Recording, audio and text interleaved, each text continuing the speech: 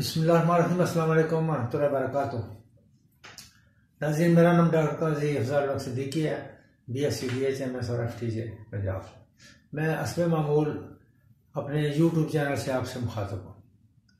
मैं अद्वियात के अलावा भी दरख्तों, पौधों के अलावा कुछ दीगर मौजूद को जेर बहस बनाता रहता हूँ। कोशिश करता हूँ कि जो भी मौजू हो, इसका कोई मकसद हो, जो आम लोगों के लिए फ़ायदेमंद हो। और आपकी मालूम में इजाफा हो। इसी कोशिश की ये कड़ी आज का मौजू है हल्दी के फ़वाद यकीन नाजिन काफ़ी अर्सा तक मुझे खुद हल्दी के फ़वाद मालूम नहीं थे, लेकिन जब किताबों की बार गर्दानी की तो मालूम हुआ हल्दी तो सोना है। तो नाजिन हल्दी ऐसी चीज़ है जो कि हर घर में मौजूद है, लेकिन लोग फ़वाद नहीं जानते, बल्कि जायका के लिए इस्तेमाल करते हैं। तो उम्मीद है आज के बाद आप जायका के लिए नहीं, बल्कि फ़वाद के लिए इसे इस्तेमाल करेंगे। तो नाजिन हल्दी को अंग्रेज़ी में करकुमा लूँगा कहते हैं। हल्दी गज़ा भी है और दवा भी है। दवा भी कोई छोटी मोटी नहीं, बल्कि ठीक ठाक स्ट्रांग दवा है।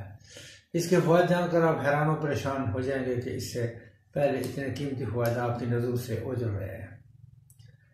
ये होम्योपैथिक और हमत दोनों में इस्तेमाल होती है, लेकिन दोनों तरीका है इलाज में होम्यो में कतरों की शक्ल में और हमत में पाउडर की शक्ल में इस्तेमाल होती है। हम अपनी गज़ा में कुछ ऐसी चीज़ें इस्तेमाल करते हैं जिनके बेपना फ़ायदे हैं। मसला सौंफ, छोटी इलायची, रोगन जैतून, ज़ाफ़रान, पुदीना, जैफल, जलवतरी, इमली, धनिया, लौंग, दालचीनी सब के फ़ायदे अपनी अपनी जगह पर बेहतरीन हैं और हल्दी का एक अपना मुकाम है। तो चलिए नाजरीन, अब हल्दी पर ही फोकस रखना है। नाजरीन, हल्दी जो है वो है गर्म खुश्क। हम अपनी गज़ा के अंदर बाद ऐसी चीज़ें दखल करते हैं जो हमें सैकड़ों मराज से महफूज रखते हैं। इनमें से एक हल्दी है। पहले ज़माने में हर हांडी तरकारी में सौ फ़ीसदी हल्दी और वो भी घर की पिसी हुई इस्तेमाल होती थी। इसलिए मैदा जिगर और खून के अमराज कम थे, जबकि आजकल मिलावट वाली हल्दी व कसरत दस्तियाब है। नाजी नमक हो या मर्च, मिर्च हो या हल्दी या हल्दी हो, और ये चीज़ें अपनी निगरानी में आपको पिसवानी चाहिए, तब आपको इनके फ़ायदे हासिल होंगे। हर वो मर्ज जिसका सबब सफरा होगा, ये इस मर्ज के लिए अक्सर और लाजवाब होगी। बाज़ मरीज़ ये शिकायत करते हैं कि सुबह उठते ही, उठते हैं तो चेहरा पर वरम होता है और हाथ मुँह सूजे हुए होते हैं। ऐसे मरीज़ की निशानी ये है कि जब आप वरम वाली हिस्सा को ज़ोर से दबाएँ तो वहाँ गड़ा पड़ जाएगा। इन तमाम कैफियात के लिए हल्दी मुफरत तौर पर यानी अकेली ही मौसर साबित होती है। कई मरतबा गलत इलाज से भी ये मर्ज पुराना हो जाता है। ऐसे मरीजों के लिए दो चुटकी हल्दी दही में मिलाकर इस्तेमाल करें। हल्दी यरकान के लिए बहुत मुफीद है, बल्कि मुजरब इलाज है।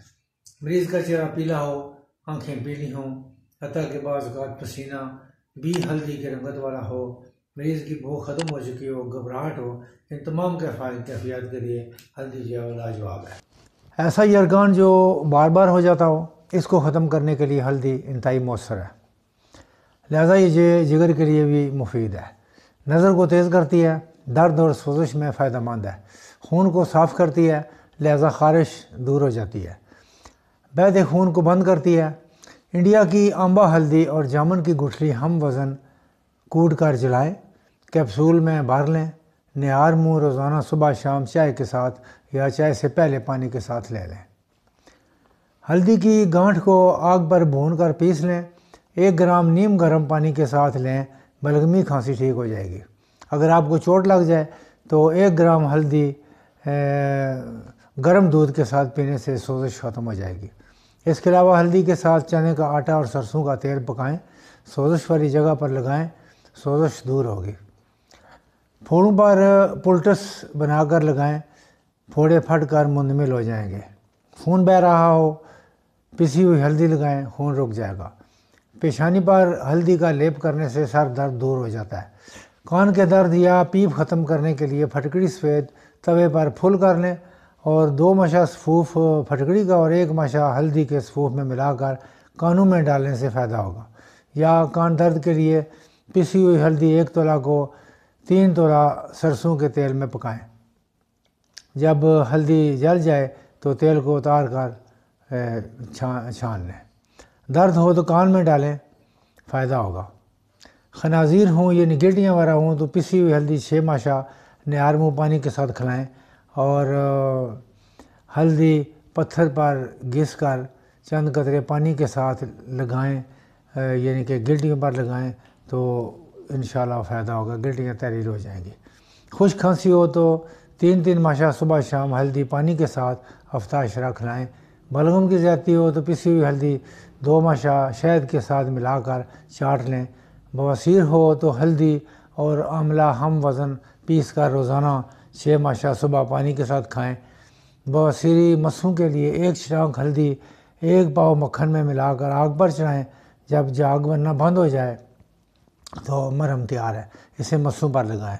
यरकान हो जाए तो छः मशा पिसी हुई हल्दी सुबह शाम एक छटांग दही में मिलाकर खिलाए। जल्द आराम आएगा लस्सी मतवादर पिलाएँ।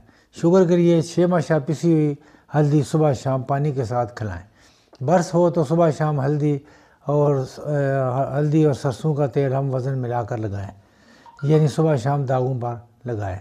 या आध पाव पिसी हुई हल्दी को आध से स्पिरिट में मिलाकर मजबूती से कारग लगाकर धूप में रख दें। रोज़ाना तीन मरतबा ज़ोर से लाएँ। तीन रोज़ के बाद छान लें, सुबह शाम बर्फ़ के दागों पर लगाएँ, बहुत मुफीद है।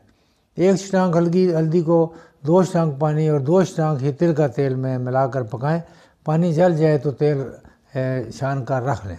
फोड़े फंसी नासूर वगैरह पर लगाएँ और ज़ख़म कैसा भी हो, इंसान का हो या जानवर का हो, ये लेप लगाने से ज़ख़म मुंदमिल हो जाता है।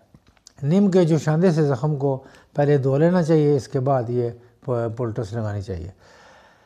हल्दी दमा जैसे अमराज में भी मुफीद है। मरीज़ के टेस्ट में इसिनोफिल नाम के सेल्स अगर बढ़ जाएँ तो मरीज़ की कैफियत दमा जैसी हो जाती है। अगर दमा की इस किस्म में हल्दी इस्तेमाल कराई जाए तो मरीज़ बहुत ज़्यादा ठीक हो जाएगा। इस मकसद के लिए हल्दी को गाय के घी में भून कर, पीस कर महफूज रखें और एक माशा दिन में तीन मरतबा लें तो दमा से इन मुकम्मल शिफा होगी। हल्दी और नमक सेंधा, हम वज़न मिला लें गोलियाँ मिलाकर, मुँह में रखकर चूसें तो खांसी को फ़ौरन आराम आएगा। कुछ लोगों का यही नुस्खा ज़रिया मुआश है। ये इतना अच्छा नुस्खा है नाजिर मौजूदा दौर का खौफनाक मर्ज कैंसर है, और इसके अलावा दिल के अमराज में जब खून गड़ा हो तो शरियानों से आसानी से नहीं गुजर सकता तो ऐसे कैंसर जैसे अमराज जन्म लेते हैं। तो हल्दी का इस्तेमाल इन तमाम अमराज को और अलामत को दूर कर देता है। चुटकी बार हल्दी सुबह शाम दही में मिलाकर इस्तेमाल की जाए।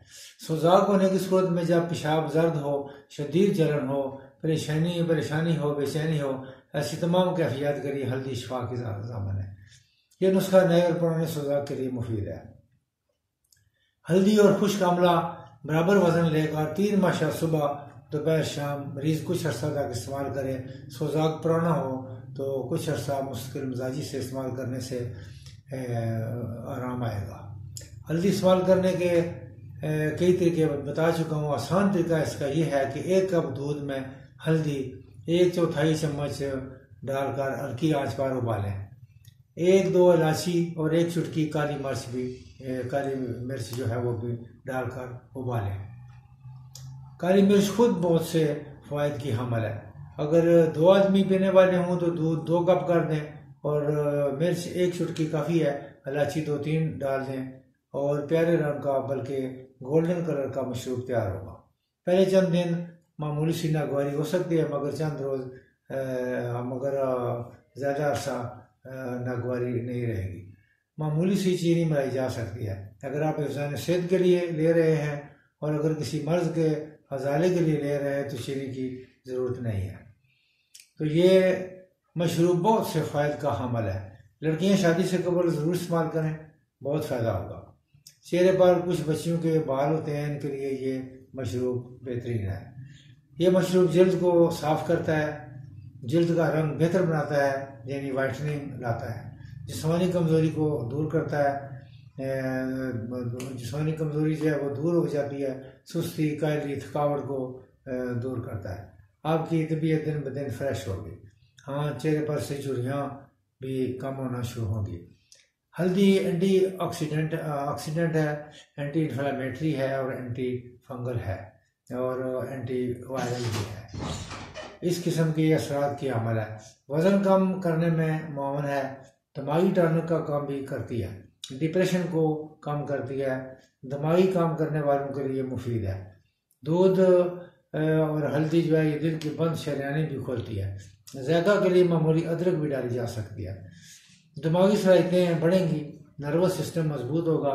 जवान और बूढ़ों सब के लिए ये मुफीद है। कोलेस्ट्रॉल को जमा नहीं होने देती। ये एंटी बैक्टीरियल और एंटीवायरल भी है। कुत मुदाफ़त को बढ़ाती है। सर्दियों में इसका इस्तेमाल ज़्यादा मुफीद है। ये जोड़ों के दर्द में मुफीद है। मोटापा भी कम करती है। जल्द में नखार और खूबसूरती लाती है। हड्डियाँ मज़बूत होती हैं और ख़वान में हारमोन्स को बैलेंस करती है।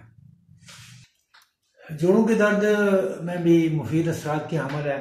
सोजश और सोजन को दूर करती है, बड़ा हुआ पेट भी कम करती है। हिंदुस्तान में अरसदराज से इस्तेमाल हो रही थी, अब इसका इस्तेमाल यूरोप में भी शुरू हो चुका है। यह कैंसर के खिलाफ मजामत भी पैदा करती है। खातन में माहाना निज़ाम की खराबी और कमी बेशी को दुरुस्त करती है। बालों की नशो नमा करती है पीरियड के दर्द हों यानी कि पीरियड के, यानी कि मैंसिस के दर्द हों, या आम दर्द हों यह फ़ायदेमंद है। कोलेस्ट्रॉल को कम करती है, खून को पतला करती है, दूसरे लफ्ज़ों में कह रहे हैं कि खून को साफ़ करती है। एंटी एजिंग भी है। हल्दी नाजीन बहुत सी बीमारियों का इलाज या शुरू में मामूली मकदार से शुरू करें और फिर चौथाई चम्मच या आधी चम्मच तक मालिश की दायरे के मुताबिक बढ़ाएँ। इसमें बहुत से ऐसे मिनरल हैं जो कि बीमारियों से महफूज रखते हैं। दूध में हल्दी लेना ज़्यादा बेहतर है। लेकिन अगर कोई मजबूरी है तो पानी के साथ भी इस्तेमाल की जा सकती है। ताज़ा हल्दी जो ज़मीन से निकलती है और अदरक जैसी होती है, जब बहुत, ये बहुत बेहतर है। इसको लेकर आप फ्रिज में रख लें, साफ़ करके एक टुकड़ा पानी में भुगाएँ और टुकड़ा या उसको कद्दूकश कर लें या चाकू की मदद से बहुत बारीक बारीक उसकी फांके में बना लें। तो रात को भुगो दें सुबह पी लें। तो भी फायद ज़ाहिर होंगे हल्दी में फलाद potassium, phosphorus, magnesium, zinc, iron के अलावा विटामिन ए, विटामिन सी और विटामिन के मौजूद हैं। तजाबियत के अजाला के लिए बहुत मुफीद है, यानी मैदा में जो जलन गैस तजाबियत हो जाती है के लिए बहुत मुफीद है। गुजशत माह हमारे एक अज़ीज़ इंग्लैंड से आए तो उन्होंने हल्दी मंगवाई तो फिर उसे कूट छान कर कैप्सूल ढाई सौ मिलीग्राम वाले भरे और काफ़ी सारी मकदार में अपने साथ ले गए। तो मैंने पूछा तो कहने लगे, ये बेशुमार अमराज में काम आती है और हम खुद भी इस्तेमाल करते हैं और अपने दोस्तों चीज़ों को भी देते हैं। ख़ास कर हर किस्म की सोजिश के लिए सोजन के लिए और वरम के लिए काम आती है और फेफड़ों को साफ़ करती है, गले को साफ़ करती है। लिहाजा मालिज के मशरा से इसके कैप्सूल बनाकर भी इस्तेमाल किए जा सकते हैं। मजीद यह है कि हल्दी खाने को भी हजम करती है, वज़न में कमी लाती है, प्रोस्टेट जिगर, मैदा के अमराज में कैप्सूल बेहतर हैं। दांतों की सफ़ाई भी करती है। सुबह सवेरे शहद मेरे पानी में हल्दी मिलाकर पीना बहुत मुफीद है।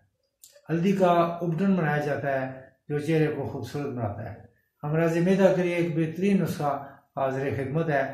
हल्दी, मलठी और सौंफ, ये बराबर वज़न लेकर पीस लें अमराज अमराज मैदा, यानी जलन सोजश तजाबियत गैस और अल्सर के लिए बेहतरीन असरा का हमारा ये नुस्खा। जो लोग अरसा दराज से अद्वियात खा रहे हैं, ये नुस्खा इस्तेमाल करें तो फ़वाद फ़वाद जो हैं वो ज़ाहिर होना होने में देर नहीं लगेगी। नाजी मलठी घर पर पीसना खसा मुश्किल काम है। किसी एतमाद वाले पंसारी से मलठी मैदा मांगे गए तो मिल जाएगी। इजाज़त दें, अल्लाह आपको हर बीमारी, आजमाइश और परेशानी से महफूज रखे। मेरा पोता जो काफ़ी बीमार था, माशाल्लाह ठीक होकर घर वापस आ गया। आपकी दुआओं से घर वापस आ गया। शुक्रिया अल्लाह तला तमाम बच्चों और बड़ों को जो अस्पतालों में किसी वजह से दाखिल है। खुदा करीम उन्हें सेफ़ दे और खैर वफीत अपने अपने घरों को वापस लाए। इस दुआ के साथ इजाज़त दीजिए। उम्मीद है कि लाइक और सब्सक्राइब और शेयर करेंगे ताकि दूसरे लोगों को भी फ़ायदा हो। अब इजाज़त दीजिए, डॉक्टर काजी सदीकी को इजाज़त दीजिए। पाकिस्तान, जिंदाबाद।